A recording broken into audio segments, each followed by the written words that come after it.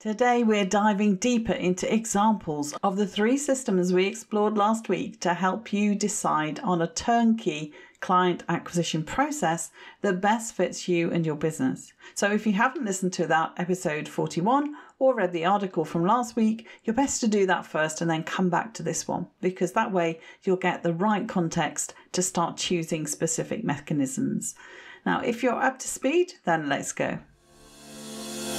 Welcome to the Leverage Business Podcast, where we believe business success is about working smarter, not harder, leveraging your time and expertise in ways that fit the digital age you and your clients live in today. I'm your host, Jay Allyson, author of Leverage Consulting in the Digital Age and founder of the iSuccess Business Academy.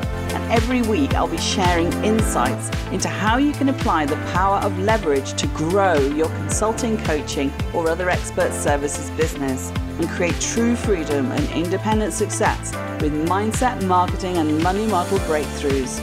Because when you get leveraged, the sky's the limit. Let's go for it.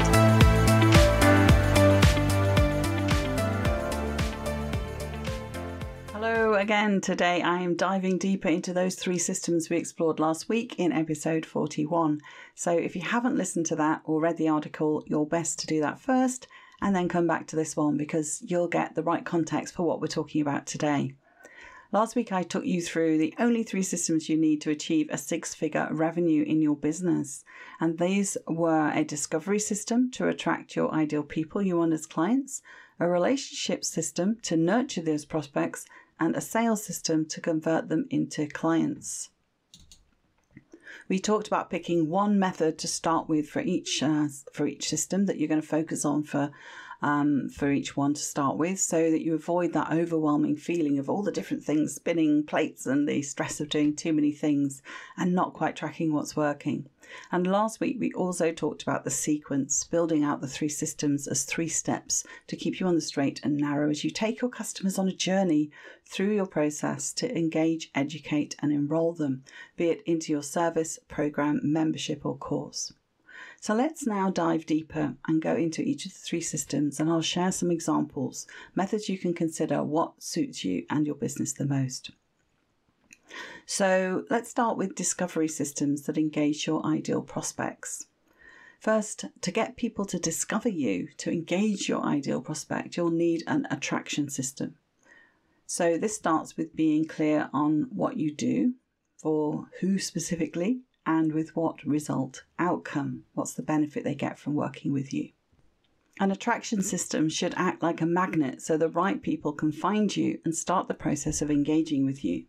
Either they opt in via a landing page with a juicy lead magnet, giving their name and emails, or they join your social media following or group. Now, you can drive the right crowd or traffic either through organic search based on content you're publishing and make sure that you focus on search engine optimization or SEO and sharing and um, getting people to really uh, use your content, consume your content.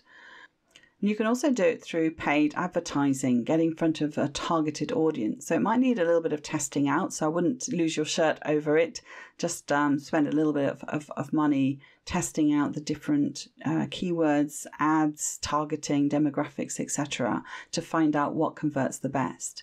Now, paid traffic or leads costs money, of course, but saves you time. And organic lead generation costs you time. It takes a little bit longer for it to bed in, um, but it does save you a lot of money in the long run if you can get that working. So ask most coaches where their clients come from, though, and they'll almost tell you word of mouth or referrals. And that's great because it skips right over discovery and relationship building and makes a beeline for the sale. But here's the problem it's inconsistent and it's unpredictable. And you need to supplement word of mouth or referral with discovery methods that will fill your funnel and keep it that way so that you've got some sense of control over the whole process. But what we do quite often with um, with new clients is we look at a strategy where they're just going to build on the networks and the spheres of influence that they've already got because it is the fastest um, straight line to getting a new client to actually making a sale. So, what are the kinds of discovery methods that you might uh, think about? So, number one would be your blog. Um, so you're on your website, you usually have the ability to um, post articles or, or a blog. Um, people often ask, is blogging still relevant today? And that's a question that I get asked quite a lot um, because it's quite a lot of effort, obviously, to produce content every single week, usually.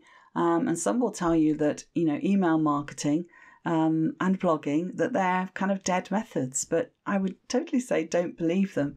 Blogging's very critical for building your audience, but it's also the very foundation of your discovery system. It forms the centerpiece, the hub for everything else that you do online. It gives you credibility, it allows you to be a thought leader. So, blogging consistently gives you powerful credibility. Everyone who reads your blog will immediately know that you're the expert in your field. So you think a bit of a little bit as your your thought leadership um, status hub, your resume online.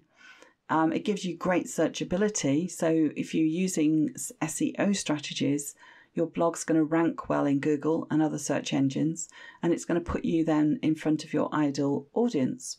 And the most important thing really is it's your own property, your blog and your website, assuming that you have it on a hosted um, domain, not a not a WordPress.com where it's hosted by WordPress. Um, then social media and other discovery methods are really important, um, but they're not yours. So you know you don't own Facebook, you don't own YouTube or LinkedIn um, or Pinterest, whatever it is you're using.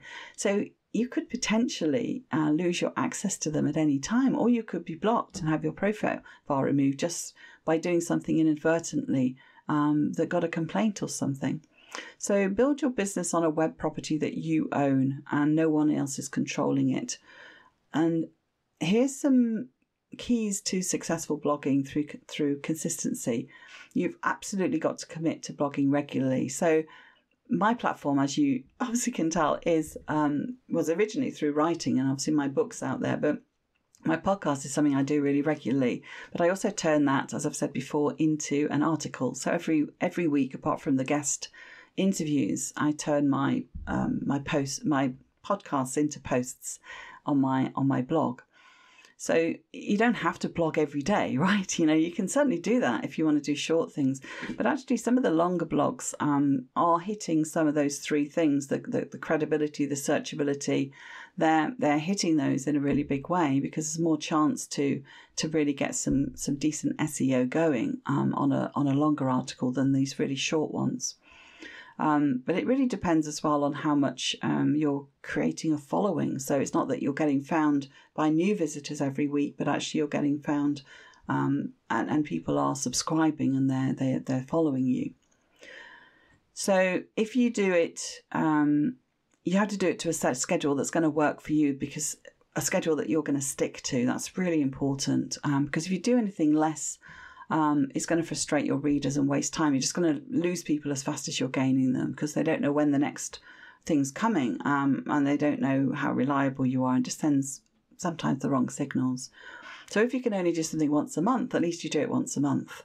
Okay, so if you do it two, two times a month or, you know, once a week, um, it's just really good to stick to that.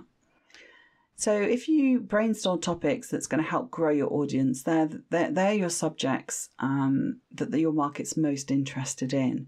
So what I do is take sort of Laura McDowell's advice and, and think about a content plan so that you can think about mixing things up and you can do your SEO research and you can plan everything out, not too far ahead because you want to be also responsive to what's going on in the marketplace. Um, but it's really good that you're not sort of sitting every single week with a blank piece of paper, that you've actually done some work in advance. I think it's really also important to accurately gauge the response that you're getting. So um, I have to say I don't get many comments on my on my blog posts and my, my blog site, but I do get people email me directly um, or submit an inquiry. So I don't know what's quite going on there, but it's an interesting dynamic. The other second method that you might want to use is social media. So that can be anything from LinkedIn through to Facebook, Twitter, um, Pinterest, Instagram, those kind of things. But again, um, I kind of syndicate stuff out to each of those, but I don't spend a lot of time uh, on anything other than my podcast. That's the main thing. And then obviously I promote it through my social media accounts, but I don't spend a lot of time in my Facebook group, for example, which is what I said at the beginning of last week's episode. Um, is it's really sort of underused, underutilized, um, and I need to do something about that. But at the same time, for me, it's more important to spend my time getting my podcast out because that's what's generating me um, interest. If you judge, you know, if you're judging by the number of social media platforms that are out there, it's pretty clear that being social accounts for a huge amount of all the time spent online, right? And it's generally not a good idea to base your entire business on any social media platform. Again, as I said before, but it is necessary part of your overall success. I mean, any business that doesn't have a presence on one of the major platforms is is really missing a trick.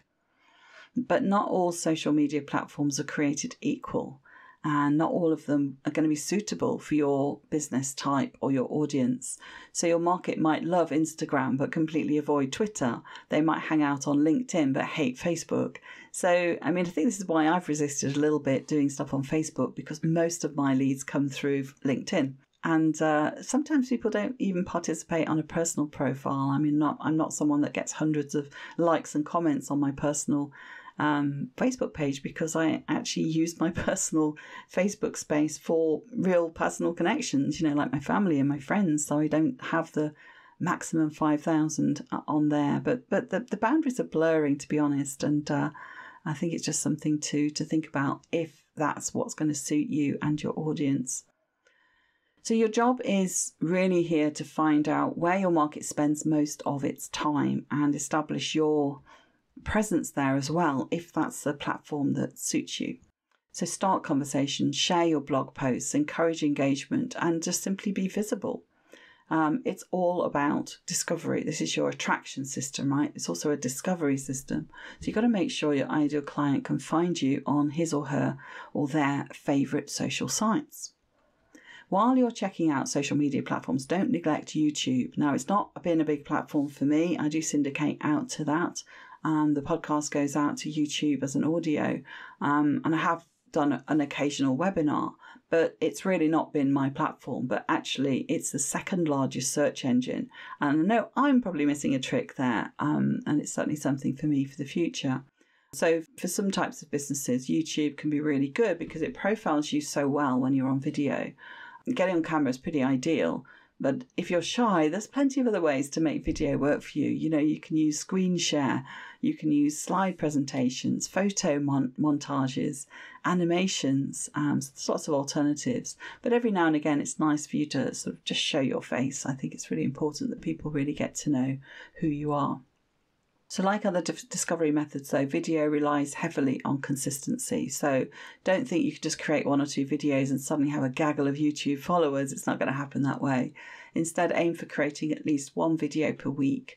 Um, sometimes people do a whole series, they'll do one a day for 60 days and they'll just really commit to that. But it does depend totally on your business. And it doesn't have to be a long video either. I mean, last week's podcast, for example, for me was 20 minutes. Um, others have been, you know, around 45, 50 minutes. So, you know, it's better actually with video if it's not, because it's like YouTube isn't a platform that people spend hours watching one single video. They hop around quite a bit. What it does have to do when you send a video out is it's got to provide great information. So, structure, clarity, you know, actionable things are really, really tasty for people. So identify the top three social media platforms in your niche and set up or update your account. Make sure your profile is really speaking to what you're all about and what you offer. And keep in mind the subjects that you've brainstormed in the section about blogging because those are going to be also relevant and you can repurpose content from one to the other in a different medium, which is what I really like to do. So, a third method under the attraction system, discovering to discover you, is free webinars. Now, I'm starting to get a sense that the word webinar, people are getting a bit tired of it. So, substitute it for a workshop, and something becomes, again, a lot more actionable.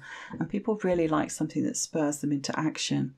So, for list building and sales, you really can't beat the power of a webinar or a workshop that people can turn up to and really engage with you, you know, in a very interactive manner. So instead of one way communication or information, it's um, it's a dialogue. It's a it's a two way process. So they give you the opportunity to introduce yourself to a previously perhaps unknown audience. You can prove your expertise by sharing valuable information in a very interactive way and, and integrate questions and answers. Um, so really get to know your audience as well. So it's really good actually for market research as well because you'll learn a heck of a lot. Um, and you can grow your mailing list by partnering with a colleague in a complementary niche. So you can start to do things jointly with people. And you can make sales through time limited offers. So you build the, the workshop up in such a way that um, you're really helping people to see what the possibilities are for them. And here's a way to help them and making an offer at the end of it. And not only that, but once you've created two or three presentations, you'll always be prepared to speak because whether it's at a conference or a tele summit or a virtual summit, a podcast or, or anything else where your audience is, you can just turn up and give your keynote presentation, your, your signature speech. So, on the back of that, what I would suggest you do is to create your go to presentation and schedule a free webinar or workshop for your audience. Be sure to have your goal clearly in mind as you're creating the event. Now, closely related to that is another method, which is public speaking. Now, like webinars, public speaking is an ideal way to get in front of your ideal client and speed up the know, like, trust time. Wherever you're speaking, the audience members are going to feel an instant connection. And if your topic resonates with them, you're well on your way to turning those listeners um, or your audience into buyers.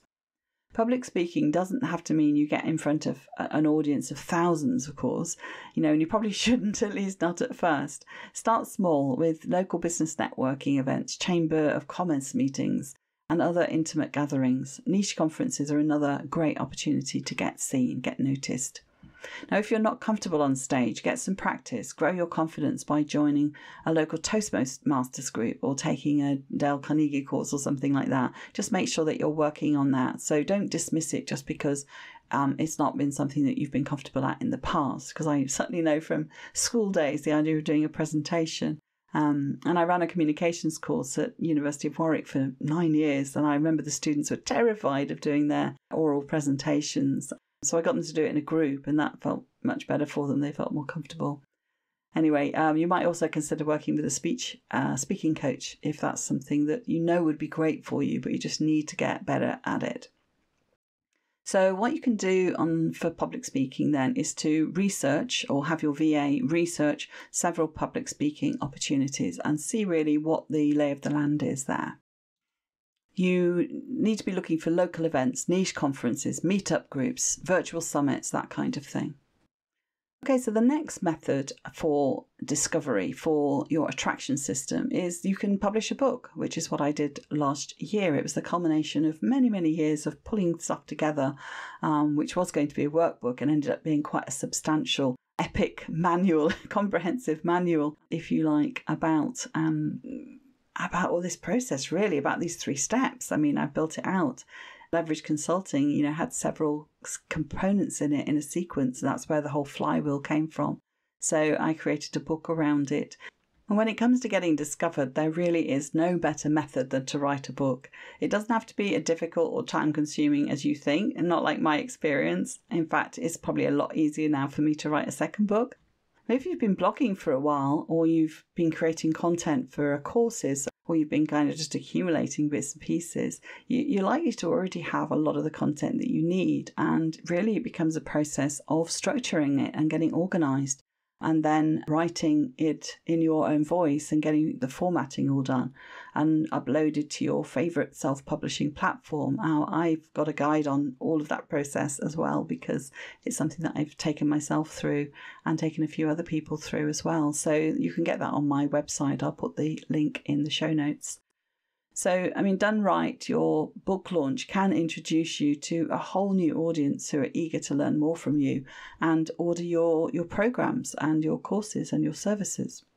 The to do for publishing a book would be to brainstorm it, you know, outline what the book would cover, you know, what would be the focus, what would be, if you like, the, the structure, the headings, the chapter headings, just like as if you were building a course, thinking about what would be the uh, the outcome and work backwards from there in terms of the curriculum and the modules.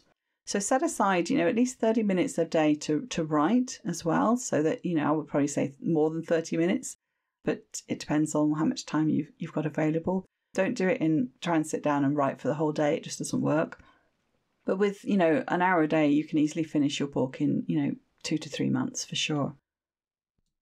Okay, so the next system we're going to look at in terms of methods is the relationship system. So you're looking at methods that allow you to nurture, to educate, and to demonstrate that you can help your ideal prospect. So once you've got your prospect's attention, the know part of the oft repeated know, like, and trust um, process, then you've got to foster a relationship. And it's not enough for a potential client to stumble across your blog or social media accounts, or even for her to buy your book. It has to be a maintained contact and it has to be that you become the go to expert so they keep coming back to you for, for more sort of good tidbits and insights.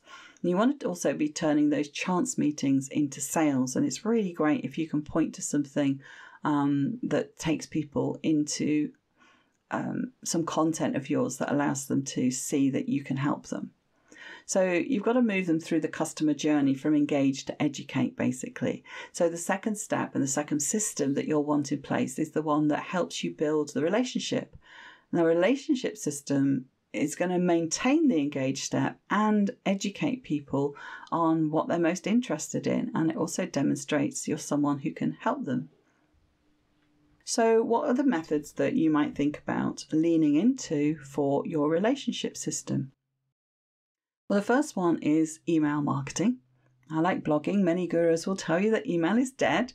In reality, email marketing is very much alive. And in fact, it's incredibly effective and it still is. I think it's dead when you really aren't engaging the person and your emails aren't getting opened. Then you could say, well, it doesn't work. But actually, when you're um, when you're getting it right, it works really, really well. So it's the single best way to stay in touch with your potential clients. So even if you've got it working pretty well and you you've got open rates of 20, 30, 40 percent, then that's going to do well enough. You know, we're not looking at having 80% of people open your emails because I think that just doesn't happen these days. Um, delivery is a big problem. Um, just making sure you got the right people on the list. Um, people also just change their minds about what they're interested in because they're flitting around. And so it's not the right time for them to be an ideal prospect for your business. But the key thing here really is that you're giving an opportunity for people to stay in touch with you. So you can't simply ask for their email address in exchange for a free gift and then only reach out when you've got something to sell. It's just people just get turned off completely by that. So it, it just destroys any trust that they've got in you, and they're probably never going to do business with you again. Um, it's the same with LinkedIn. I mean, email. There's a messaging system through LinkedIn, and you know we we, we talk about it uh, a lot that you get these connection requests, and then if you happen to think, oh, they look like somebody that fits my profile as well and I'd be interested in them and the next thing you know after accepting is they're trying to sell you something and it's just such a big turn off I usually disconnect from them um, so what you can do instead is commit to a regular email series that provides useful actionable advice and little to no selling. Now, that doesn't mean you can never make an offer because obviously you're in business, um, but it'll train your readers to expect great content from you and help improve your open rates. And the occasional sales pitch is going to be received much better when it's part of an otherwise education based series. Many online businesses are even bringing back the weekly newsletter, giving it a, a nice name and, and, making it feel like it's something to look forward to, like a gift every week. Um, so it's like a colourful, information packed email that typically contains several articles and resources, along with a related product section that offers a soft sell. Now, again, the key to this strategy is consistency. So, if you do decide to launch a newsletter, be sure to commit to it for at least several months in order to better gauge its effectiveness. And the trick thing to do here is to have an email system, which means that you can set up your weekly newsletter or your series of emails, your nurturing sequence, as an autoresponder series or an automation. So you'll never have to think about it again. Once you've got it in motion, once you've created and crafted those messages, you'll be able to send those out regularly to um, to your audience, to your subscribers. Now, obviously, with a newsletter, it's probably something that you'll send out as a broadcast rather than an automation because it's going to be it's not going to be something that you repeat but it could be something that um, you know as soon as somebody joins your list they get the same sequence um, so it depends how much news is in it um, and how much is just a series of great content that just happens to have the newsletter title.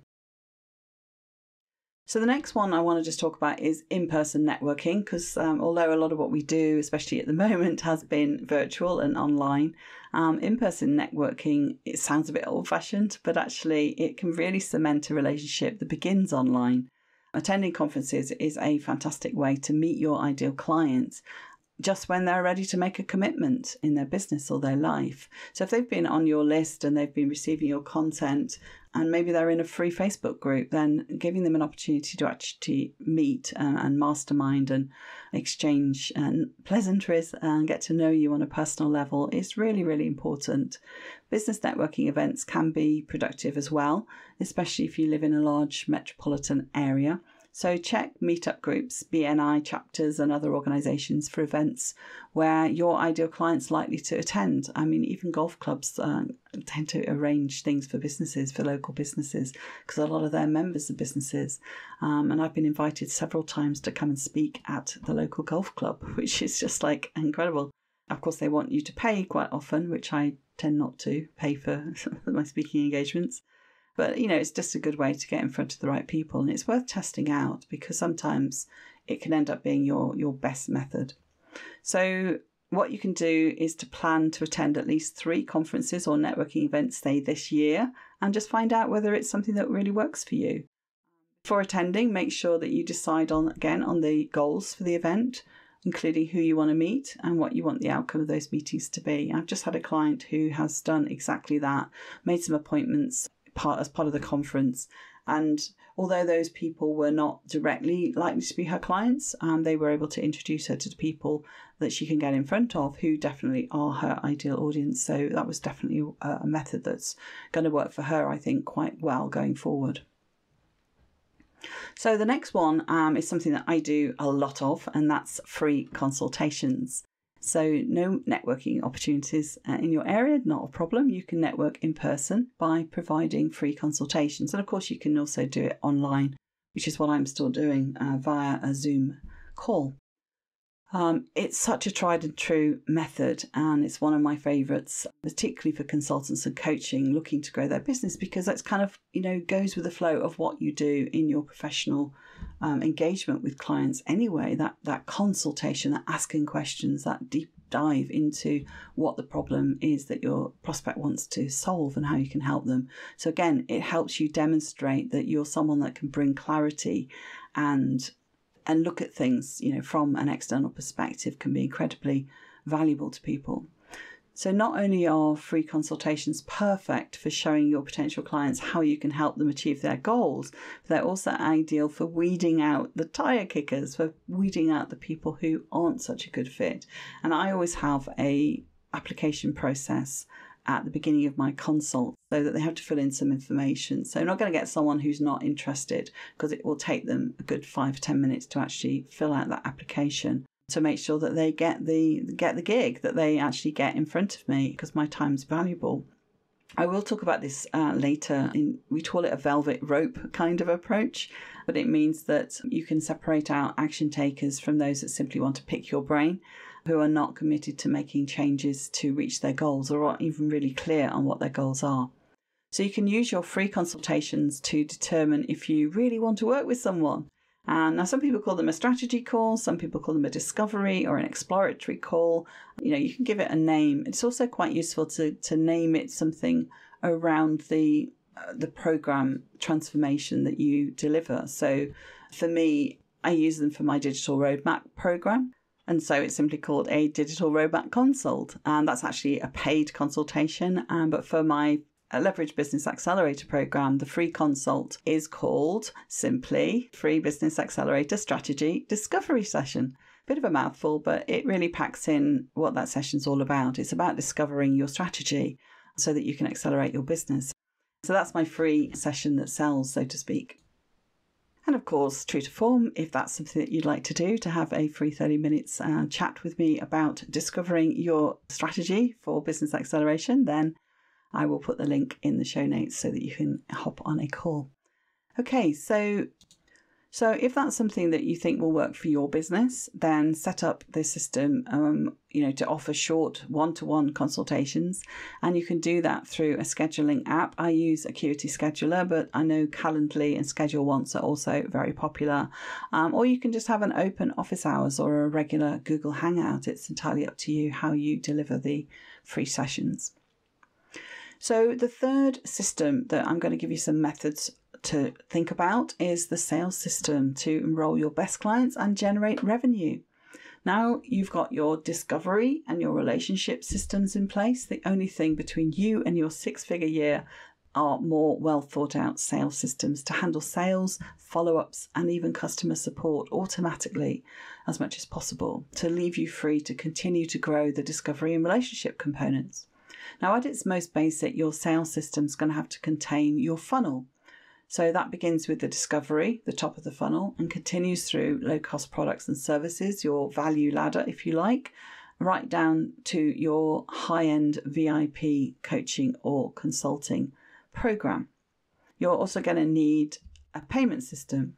So, whether it's a shopping cart or a simple PayPal button, or you do bank transfer, or whether you arrange for people to send you a purchase uh, order number and you invoice them, you need a way for people to pay you and for them to receive the goods. And the next thing is a customer support process. And the first step of that is going to be your onboarding process. You, you don't necessarily need to have a whole help desk and customer support. You just need to be accessible if something, if there's a question. Um, but you can also put on your website a frequently asked questions page. So that can help direct some follow up messages and help encourage people. But the last thing you want is for your clients to feel they've been abandoned as soon as they make a purchase. So that onboarding, that you know, it is onboarding into a, a program, then I always talk a lot about access and motivation being incredibly important. Kind of module zero, if you like, to get people really on board and feeling excited about the decision that they've just made to work with you. So, if we look at your sales funnel, first of all, uh, I mean, entire books have been written about sales funnels, so I'm just going to give you the basic idea here. Your sales funnel is going to begin with your free offers, so your blog, social media updates, YouTube videos, that kind of thing, your free content. And those are things that anyone online can access at zero cost. So, it's a way for you to get them onto your email list. They're free items that require an opt in. So, the cost of access isn't money, but it's an email address and a name they're actually uh, committing to to receive more from you. So some of the the what we call lead magnets are checklists, worksheets, video training, small reports, resource guides, small actionable things basically, small actionable downloadables that people can easily consume to get a, a sense of what you're about and that it pulls them into more of your material. So below that in your funnel, sometimes um, people like to offer a low cost item. Um, it really depends on your market as to whether this is a right strategy for you. So it could just be a, a trial, like $7 trial of something, or it could be like a $97 mini course or something like that. So it's really up to you to determine what your entry level rate is and whether or not, in fact, you want to have one of those stepping stones in there at all. And next are your mid range products, and then followed by the top end, the elite coaching or program type offers. So your sales funnels really ideally needs to work in conjunction with your content system. So your blog and your email autoresponders, they ought to be all moving people towards making a decision around your core offer from top through to bottom over a period of time. That's really what you're trying to move people um, through towards. And one of the difficulties is when people have lots of different offers or their offers not clear. It's not actually clear to the consumer what they can buy from you. And then you find that people opt into nothing, they buy nothing. So if you find that people are opting in to your free offer and they buy your low cost items but don't purchase your higher end products consistently, you have what's known as a leaky funnel. And it simply means that buyers are escaping your funnel at some point. Now, it could be that they're just not the right people for your high end offers, but it also might mean that your low end offers are really not attracting your high end people. So you've got to identify where your trouble spots are so that you're closer to earning what you're worth. So draw out your sales funnel. You can use, you know, PowerPoint or you can use some mapping tools like Geru with your free offer at the top, and that's your opt in, followed by whatever comes next. These different touch points are incredibly important part of your customer journey. And I'm going to say a lot more about mapping out that customer journey and tracking what's working um, in the next week's episode. So, do your email messages, follow up marketing, and other information work together to move your buyers through the process. Have a little think about what the alignment would look like, what the sequence would what work would work for you, for your customers, to moving them forward. So, the next thing that you might think about doing is putting on a special offer. So, when a visitor lands in your cart, so to speak, your relationship with them has reached a new level. You know, if they're going to buy from you, you're in a perfect position to offer more in terms of an upsell or a cross sell or a one time offer. Now, you'll see this in action quite often with online products. Um, so, if you're a consultant or a coach and you offer something a bit more nuanced than a product or a course, then it might be that this won't necessarily work for you. But what does work is if you're selling a, a package of some kind and that there's different levels that you can have that package. So, one example would be to have a group program with add on coaching. So, something that is like a VIP version of the same thing. What you'll see actually sometimes on Amazon um, or, or supermarkets even is before you click the buy now, you'll often see a row of items with the heading customers who bought this also bought, or you might also be interested in. And I think that's definitely something that is being underutilized in the online space because it really does encourage buyers to explore other related items and also to understand what other people like them also buy. So it increases your average revenue from one customer.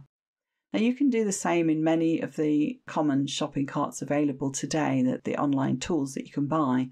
But even if your sales system doesn't have that option, you can just easily add a few related items to the checkout or thank you page, or even follow up in the thank you emails that come.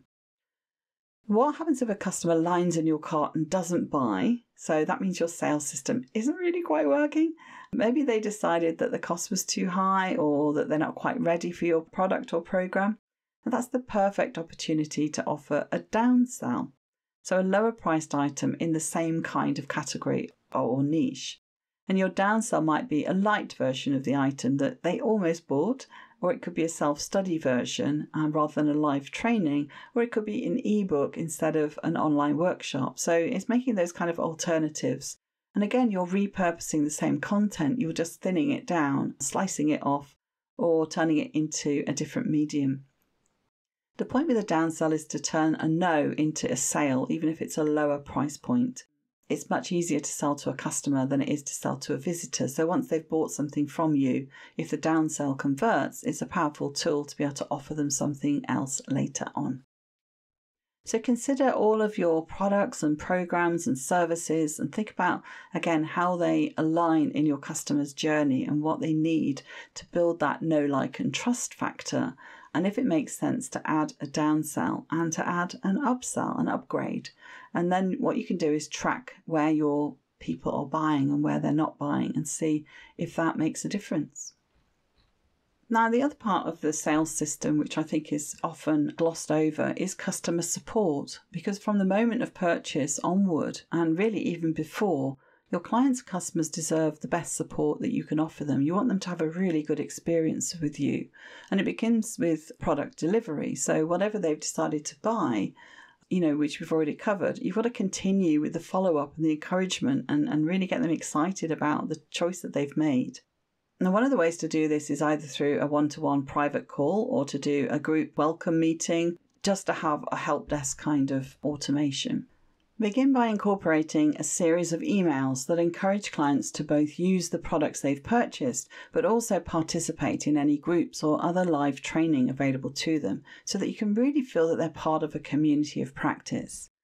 One coaching program does this by requiring mastermind members to complete a questionnaire by Friday afternoon each week and one of the questions is, What was your biggest accomplishment this week? The following Monday, the entire group receives an email listing the upcoming events and detailing everyone's greatest moments from the previous week. And this keeps members engaged and makes it far less likely they'll drop out partway through the year. I have another client who's doing pretty much the same thing through email messaging as well to really make sure that everybody's taken care of and that they know what they're doing, when they're doing it, and how it's going. You can offer encouragement to your members, buyers, clients when your program's actually running live or is even a self study approach. Simply set up your emails in an autoresponder to go out on regular schedule, and your clients and customers will be much more likely to not only complete your program, but to recommend you to others and to purchase other courses from you as well. Your help desk is an important part of your customer support system as well, even if you're running it yourself. But by providing fast, courteous help, you'll build a loyal fan base that will happily sing your praises and refer new clients to you as well. Whether you maintain your help desk via email or with a dedicated app such as Zendesk or Help Scout, take the time to set up a frequently asked questions page, and it's going to help your buyers find the answers they need without having to wait for you to respond to easily answered queries. So, for those questions that do require an answer from your team, canned responses can easily take care of probably 80% or more of the tickets that you receive. And not only that, you can and should craft your responses to gently nudge your readers more deeply into your funnel. So, to do this particular method, you've got to create a frequently asked questions page, set up some kind of help desk or an email help alias so that there's one thing that all your emails go to, like support at jayallyson.com and ensure that your buyers aren't being left in the dark after they purchased. Now, check your follow up sequences, make sure that they can be improved where possible, and keep an eye on what's coming up in the questions to then keep adding to your frequently asked questions page. Those are some solid systems that can really transform your business, but more importantly, give you the sequence that creates consistency so that you've got a continuous stream of visitors and leads and clients coming through into your business. And if you're not earning that six figure salary you deserve, chances are one or more of these systems are not working quite as they should be for you. So perhaps you've got a lot of traffic to your blog and your social media, but you're not getting a lot of sales. And that would be an indication that your relationship building system needs some work. Now, if engagement's rocking, but you're not making sales, it's time to look at your sales system.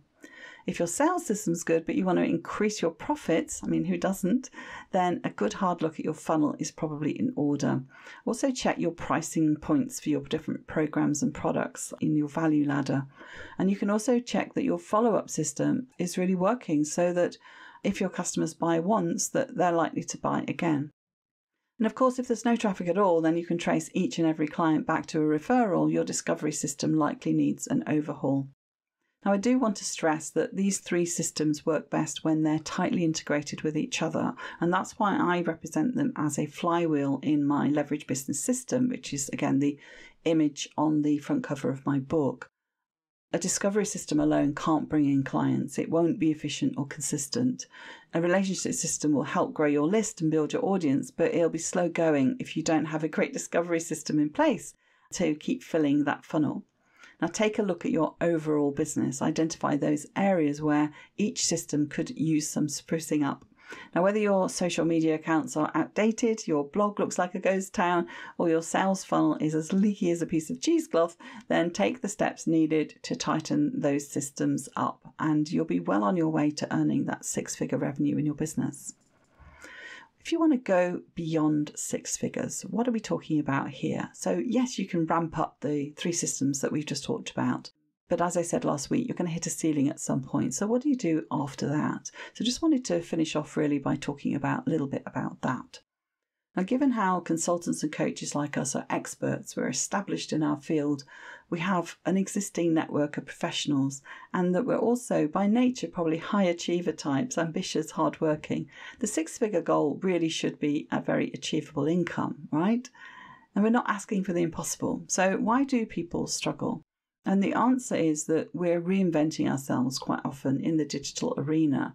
There's a lot of things that used to work for us that aren't working anymore, and there seem to be an, an awful lot of new players. Um, the new competition and differentiation becomes increasingly more difficult to stand out.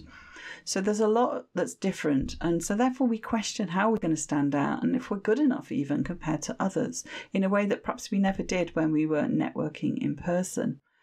And sometimes you get tempted to drop your prices to attract more clients. Well, that's going to take you in the opposite direction to the one you want to go in. So maybe you're thinking about creating a new offer or working in a slightly with a slightly different type of client. Maybe you're shifting or innovating in some way, or maybe you're just not charging what you're worth. And don't forget what my lovely guest Gaynor Gosden shared about leveraging your R&D back in episode 20 uh, because some of the research and development you do to deliver your services digitally may well mean you're eligible for tax relief. This just came up in a client conversation the other week, in fact, somebody in Canada, and it kind of reminded me that there's these R&D tax relief systems set up in most countries, not just in the UK, and you can get a significant rebate if you make a good claim. Now, as a successful independent consulting or coaching business, you should be aiming to hit multiple six figures or seven figures and beyond. So, next week, I'd like to take you into the future so that you can plan ahead and look at forecasting and tracking so that once you've got something working, you find ways to scale it, to increase your influence, your impact, and your income. So, I'm really looking forward to diving in and tackling that one for you any questions, um, make sure that you submit a question on the podcast page, which is jayallyson.com forward slash podcast. There's a little box further down. And also, if you'd like to be a guest, there's an application section on that page as well for you. So that's all from me for now. I shall see you next week where we'll be creating a business dashboard for tracking customer journey and looking at data analytics with a view to what you areas you can scale. So I shall see you next week. That's all for me. Bye bye. Thank you for listening to the Leverage Business Podcast. Want to create leverage in your business? Did this episode provide some insights and ideas to be thinking through? If so, subscribe so you get alerts when the next one's released. If you want to learn more or would like help and support with building a leveraged business that achieves true freedom for you, then head over to jayallyson.com forward slash podcast to find all the resources and links that go with this show on my website and to join our iSuccess community. And if you're enjoying our content, it would be great if you could pop into Apple Podcasts or the app you listen from and leave me a rating and review. Everyone makes a difference to improving our rankings. So thank you if you've done that already. I appreciate you. So, hey, that's it. Thank you for listening. I hope you've loved this episode and have some great takeaways to be thinking through.